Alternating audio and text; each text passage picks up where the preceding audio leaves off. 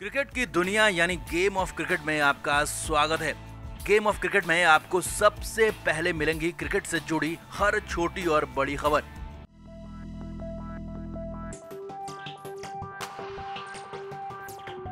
Finally world cup के लिए team India का ऐलान कर दिया गया है और 15 सदस्यीय टीम में हैरानी भरे बदलाव किए गए हैं।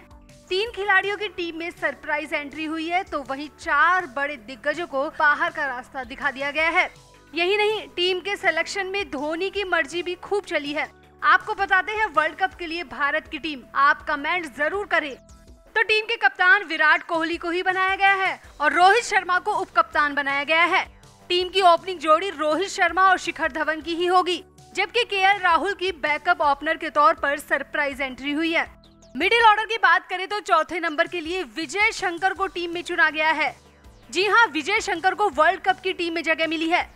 वहीं हैरान करते हुए अंबाती रायडू को बाहर कर दिया गया है। इसके अलावा मिडिल ऑर्डर में केदार जाधव को भी रखा गया है।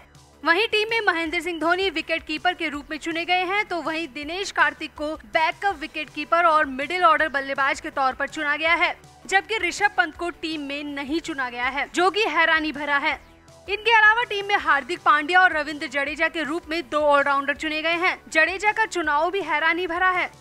गेंदबाजों की बात करें तो मोहम्मद शमी, भुवनेश्वर कुमार और जसप्रीत बुमराह के रूप में तीन तेज गेंदबाज है, जबकि कुलदीप यादव और युजवेंद्र चहल के रूप में दो स्पिनर चुने गए हैं। टीम के चयन में धोनी की काफ़ी चली है। धोनी के करीबी कहे जाने वाले दिनेश कार्तिक और रविंद्र जडेजा की सरप्राइज़ एंट्री हुई है।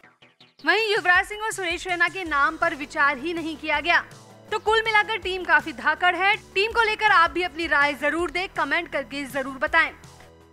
क्रिकेट के हर नए अपडेट के लिए गेम ऑफ़ क्रिकेट को सब्सक्राइब करें और उसके बाद बेल आइकन को प्रेस करना ना भूलें, ताकि सिर्फ़ आपको मिले गेम ऑफ़ क्रिकेट की हर खबर सबसे पहले।